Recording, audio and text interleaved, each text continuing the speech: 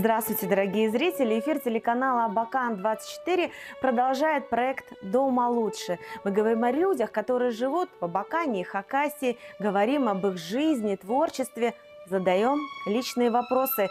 И сегодня разрешите мне представить мою гостью. Это музыкант, народная артистка Республики Хакасия, первая скрипка симфонического оркестра Елена Штарк.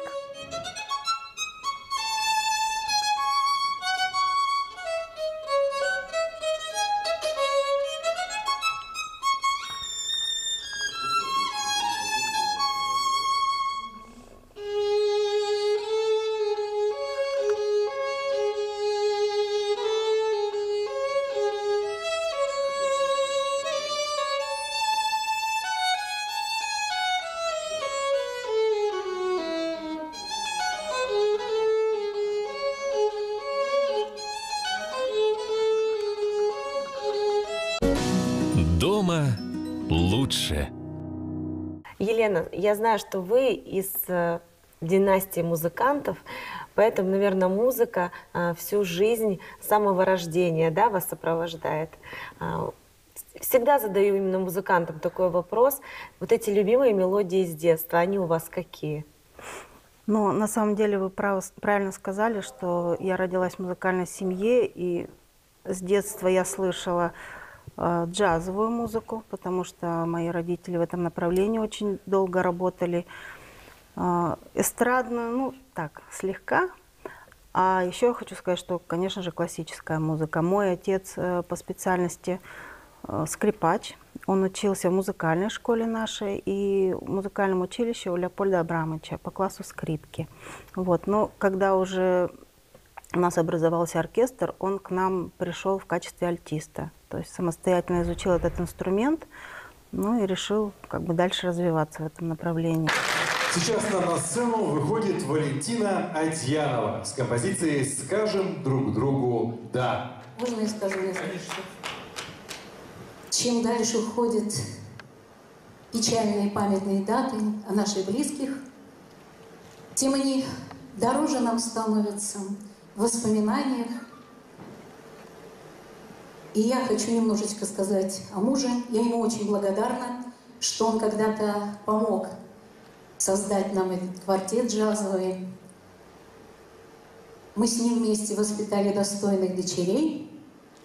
Однажды нам Маевский Валера, тоже прекрасный музыкант, спел песню, которая называется «Скажем друг другу да». Она нам очень понравилась, и мы ее исполняли семейным кругом для близких, родных. Никогда не пели ее со сцены. Это не джазовая песня, но она сейчас прозвучит в память о Владимире Алексеевиче. Итак, скажем друг другу «да». Мы ее пели вдвоем всегда, а спою сейчас я одна.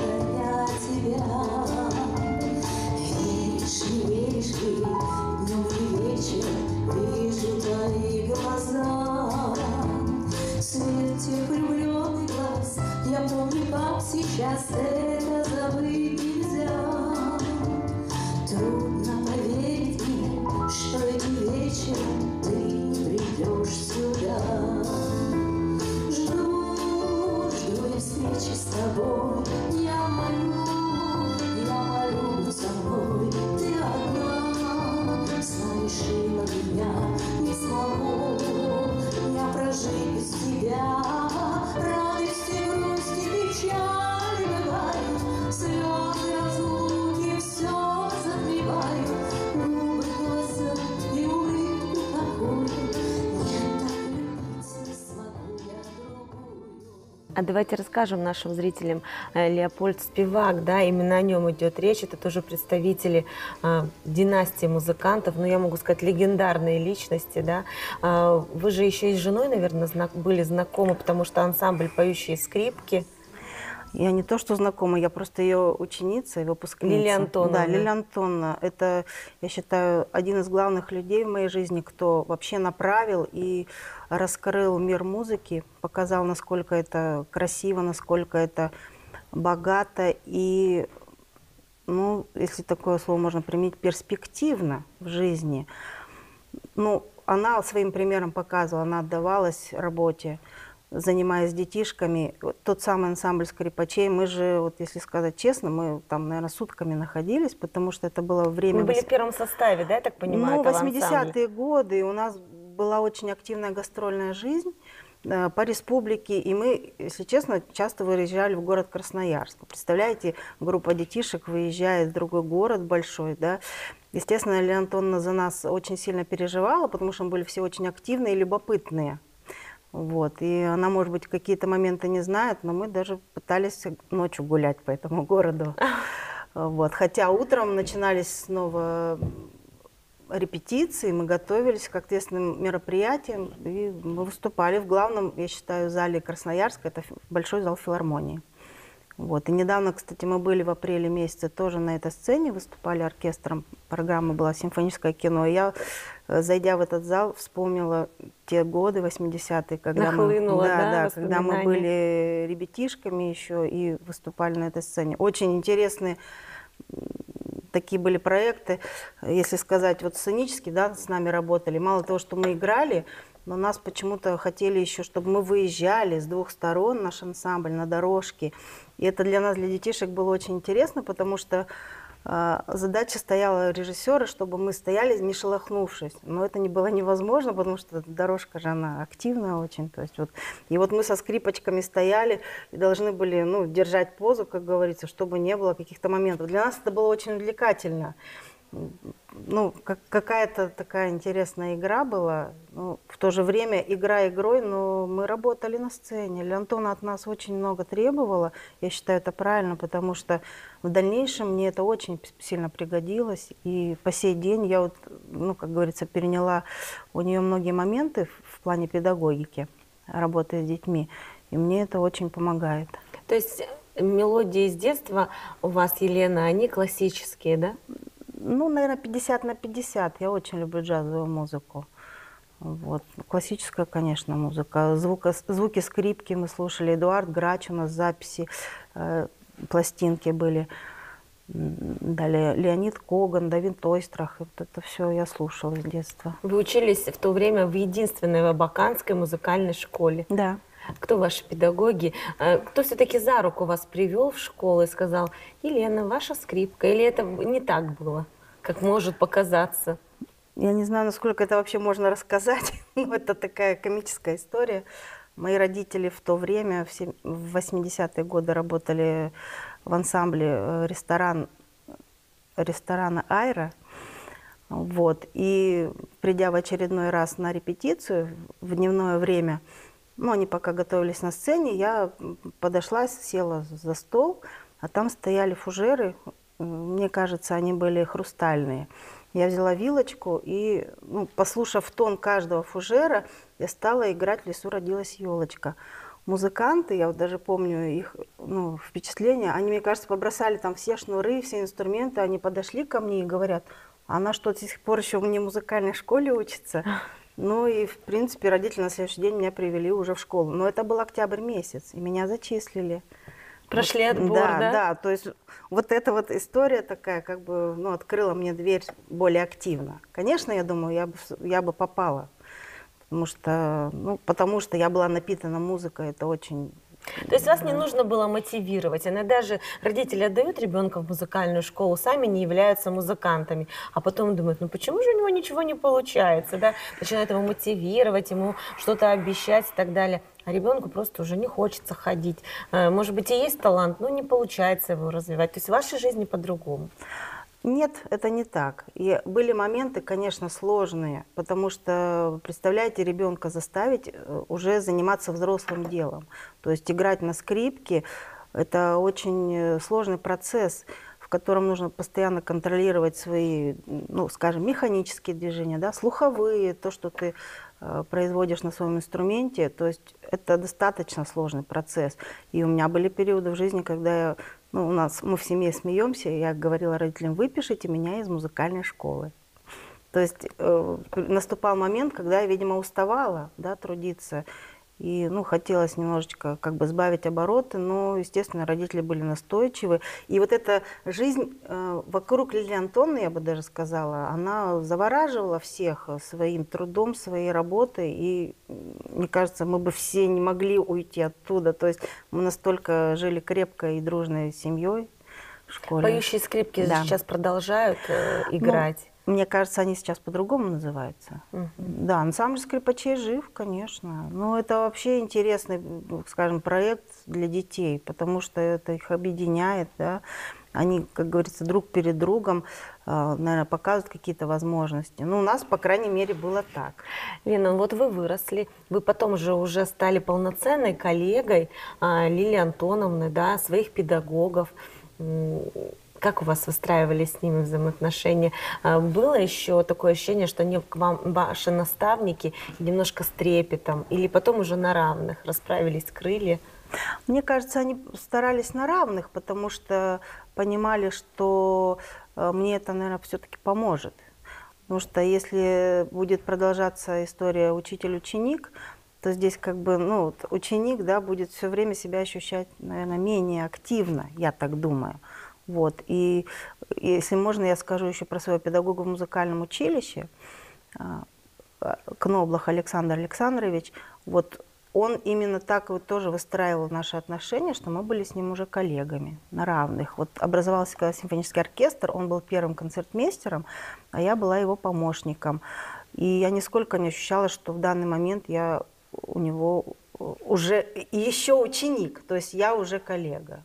Лена, какие вы можете назвать э, качества своего характера, которые позволили вам стать ну, первой скрипкой в оркестре? То есть вы первый человек, ведь э, ну, это, наверное, нужно очень, не знаю, ну, я согласна, талантливый э, музыкант, работоспособный, ну, наверное, еще какие-то качества для этого нужны. Но мне кажется, здесь самое главное быть очень дисциплинированным, собранным, да, сконцентрированным, потому что весь процесс, который мы ну, вот на сцене да, у нас происходит, это касается и репетиций, и, естественно, концертов. Я должна быть очень собрана. То есть я должна четко э, видеть руку дирижера, да, понимать, что он хочет. Э, ну и вести за собой, естественно, группу. То есть вот это лидерское ощущение, да, что за мной еще много музыкантов, они должны понимать, да, как говорится, через дирижера, вот я, ну, наверное, немножко должна как бы подсказывать. То есть от дирижера я подсказываю остальным музыкантам, как нужно действовать. То есть здесь не важно даже, а, мужчина ты или женщина. Мне кажется, нет. Нет. Дома лучше. Елена, у первой скрипки в оркестре есть и сольные выступления. Расскажите, как вы для них репертуар свой а, подбираете? И вообще, бывает ли так, а, что вы хотите, вот, например, какое-то а, новое произведение сыграть, и его тоже приходится согласовывать с вашим непосредственно дирижером?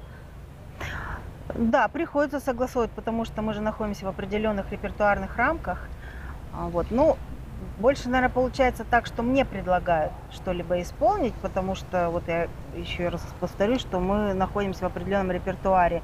А когда я э, исполняю свои сольные номера э, на сцене музыкальной школы либо музыкального колледжа, конечно, там я уже сама могу выбрать определенные произведения, но я ориентируюсь на то, чтобы оно было, естественно, интересным, где-то поучительным, потому что детишки, для которых в первую очередь я и исполняю, чтобы учились на моем примере таким образом.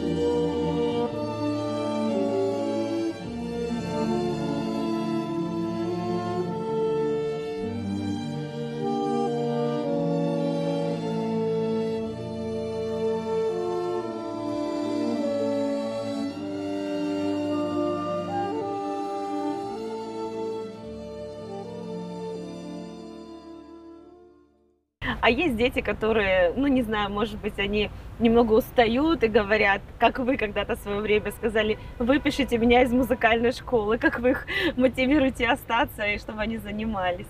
Ну, конечно, это присутствует частенько. Э, Ну, как мотивировать? Опять же, повторюсь, своим примером. То есть я говорю, вот смотрите, э, прош- прошло много лет, да, но я вот до сих пор беру инструмент, я занимаюсь, и детям приходится рассказывать про то, что все-таки нужно играть постоянно гаммы. Это самая такая неинтересная, наверное, штука в нашем обучении. Э, Процесс, когда нужно заниматься чистой интонацией, заниматься качеством штрихов. Вот. И я стараюсь детишкам все-таки прививать любовь к этому материалу, потому что это наша база, основа, без которой ну, мы не можем играть чисто, виртуозно и так далее. Вас когда-то тоже научили не волноваться перед выступлениями, перед ответственными конкурсами. А, Вы это тоже э, говорите какие-то определенные слова детям? Конечно, да, то есть какую-то определенную установку, то, что на данный момент лучше тебя, наверное, сейчас никто не сыграет данное произведение.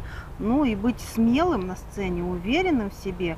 Но, конечно, эта смелость и уверенность э, подпитывается тем, что нужно большее количество часов потратить на домашние занятия. Дома лучше. А было у вас так в семье, знаете, особенно когда а, в семье подрастают маленькие музыканты, родители на праздниках, на каких-то торжествах говорят, ну сыграй, ну сыграй, я послушаю, и там гости послушают. У вас такое, кстати, было в жизни? И было ли у, вас, у вашей дочери старшей? А, было, но эта просьба была, наверное, больше от э, моего папы, а потом для внучки от дедушки. Ну, то есть вот он просил. Пусть сейчас, что может